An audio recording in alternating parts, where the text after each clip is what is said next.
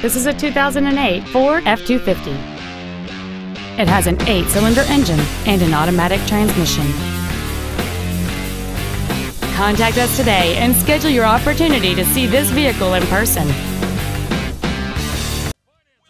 Ford has got your key. North of 55, Route 83.